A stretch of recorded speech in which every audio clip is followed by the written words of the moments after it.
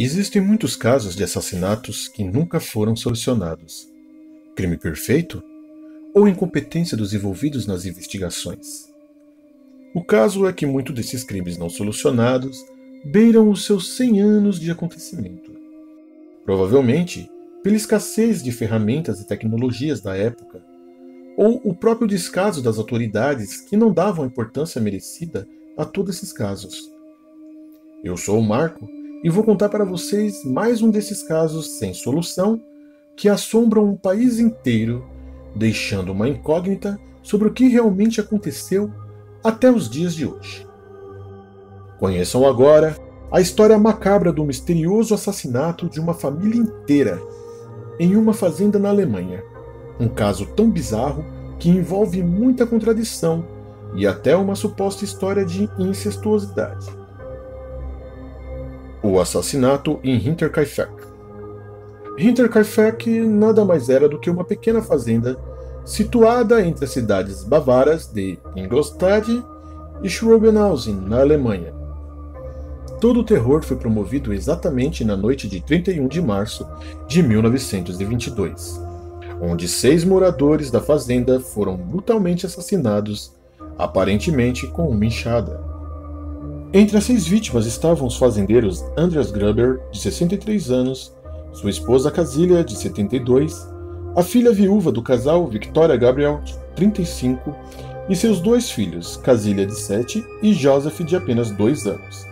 Além deles, morava na casa também a empregada Maria Balkter, de 44 anos. Toda a família levava uma vida normal e sempre realizavam suas tarefas diárias como em qualquer fazenda. Porém, um tempo antes dos assassinatos, coisas estranhas começaram a acontecer na residência da família. Seis meses antes do ataque, a antiga empregada da família, desconfiada e com medo, pediu demissão, dizendo que ouvia barulhos estranhos na casa e acreditava que a mesma poderia estar assombrada. E foi aí que contrataram Maria em seu lugar. Além desses barulhos bizarros, Andreas Gruber relatou a vizinhos que havia encontrado um jornal estranho em sua casa.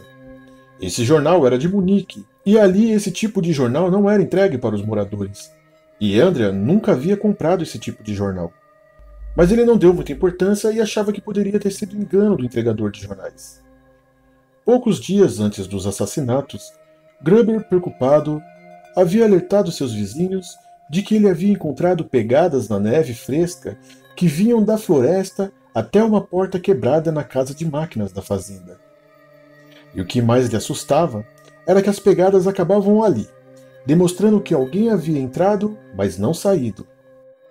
E se não fosse o bastante, algumas chaves da casa haviam desaparecido. Em uma noite, a família ouviu passos no sótão e Andreas procurou por toda parte, mas não encontrou ninguém. Mesmo contando tudo isso para seus vizinhos, ele recusou qualquer tipo de ajuda e não quis contactar a polícia local. A família não parecia ser tão tranquila como aparentava. Uma coleguinha de escola da neta de Andras relatou à sua mãe que uma vez a menina havia lhe confidenciado que Victoria, sua mãe, teria fugido da fazenda na noite anterior dos casos estranhos depois de uma briga violenta com seu pai. E só foi encontrada horas depois na floresta, desnorteada e abalada. Além de toda a briga e casos estranhos acontecendo da casa, a família dizia que várias vezes via um homem estranho de bigode parado na entrada da floresta, olhando fixamente para a fazenda. Na tarde de 31 de março, uma sexta-feira, a nova empregada, Maria Bogter, chegou à fazenda. A irmã dela havia a acompanhado e depois partiu se despedindo. A irmã de Maria provavelmente foi a última pessoa a ver a família com vida. Naquela noite, por algum motivo, pai, mãe, filha e a neta de sete anos foram todos atraídos para o celeiro através do estábulo, onde cruelmente foram assassinados um por vez a brutais golpes de enxada na cabeça. Finalizados os assassinatos, o cruel assassino entrou sorrateiro na casa ainda em posse da enxada, e matou Maria, no quarto onde cuidava da criança de dois anos. Com a mesma frieza, o assassino desferiu golpes na pobre criança que dormia no berço. Os corpos só seriam descobertos quatro dias depois do cruel massacre. Até então, muitas pessoas passaram pela fazenda sem nem ao menos desconfiar da carnificina que ali tinha acontecido. Em 1 de abril, dois vendedores de café, Hans Shirovsky e Edward Shirovsky, chegaram na fazenda para fazer uma entrega. Ficaram um tempo por ali, mas ninguém da família vinha para atendê-los. Então, resolveram rodear a fazenda, mas nada encontraram e decidiram ir embora. A única coisa que notaram foi que a casa de máquinas estava com o portão aberto. A criança não aparecia na escola e a família não havia ido ao culto de domingo, o que começou a atrair a desconfiança dos vizinhos. Na segunda-feira, dia 3 de abril, o carteiro Joseph Meyer achou estranho que a correspondência de sábado ainda estava no local e que ninguém havia recolhido. O funcionário Albert Hoffner foi até a fazenda no dia seguinte para consertar o triturador de alimentos. Assim como os outros, ele não viu ninguém da família e nem ouviu som algum na fazenda. Mesmo assim, resolveu fazer o serviço e permaneceu na fazenda por quatro horas e meia, sem desconfiar de nada. Mais tarde, naquele dia, Hoffner contou aos moradores da cidade, inclusive ao prefeito, sobre o vazio fantasmagórico na fazenda. Algumas pessoas resolveram investigar e acabaram por encontrar os corpos mutilados no celeiro. E pouco depois, encontraram também a empregada e o filho mais novo assassinados dentro de casa. O inspetor George Hengreber e seus agentes do Departamento de Polícia de Munique investigaram o caso, mas as investigações foram atrapalhadas pelo grande movimento de curiosos no local do crime, que moveram corpos e objetos de lugar e até mesmo haviam cozinhado e comido na cozinha da casa depois da descoberta dos corpos. Autópsias foram realizadas depois na família e descobriu-se que realmente a arma do crime foi uma enxada, mesmo ela ter sumido da cena do crime. As cabeças da família foram removidas dos corpos para serem examinadas melhor em Augsburgo, e seus corpos decapitados foram enterrados no dia 8 de abril.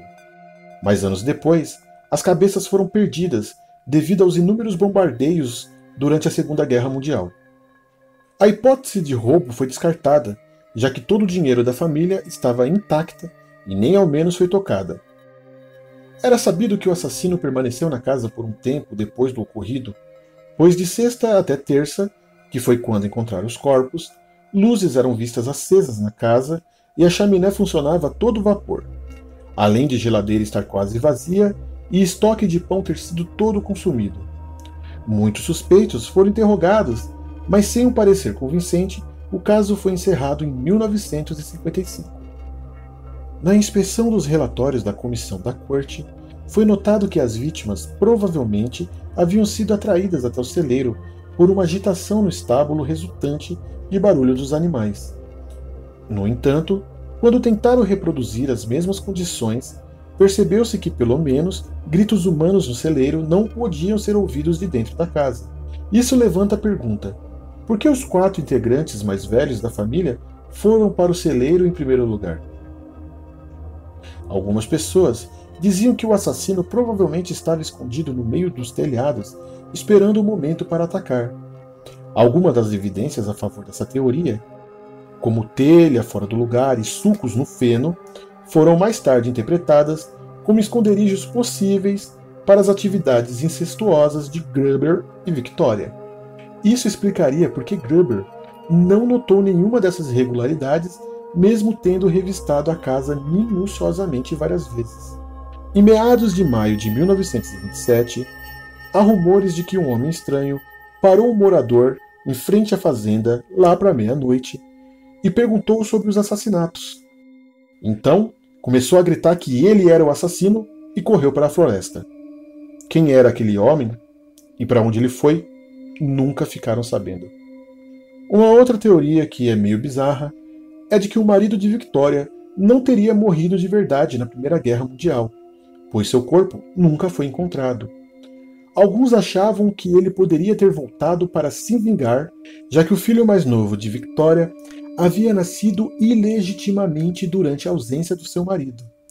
e que muitos acreditavam que a criança era fruto da incestuosidade entre ela e seu pai. O fato é que nenhuma dessas teorias nunca foram comprovadas e o caso foi encerrado sem uma solução. Mas e você? O que você achou desse caso? Qual seria o motivo para tamanha crueldade com a família inteira? Gostou do vídeo? Curta nossa página no Face ou se inscreva em nosso canal no YouTube. E assim você ficará por dentro de novos vídeos cheios de curiosidades e mistérios.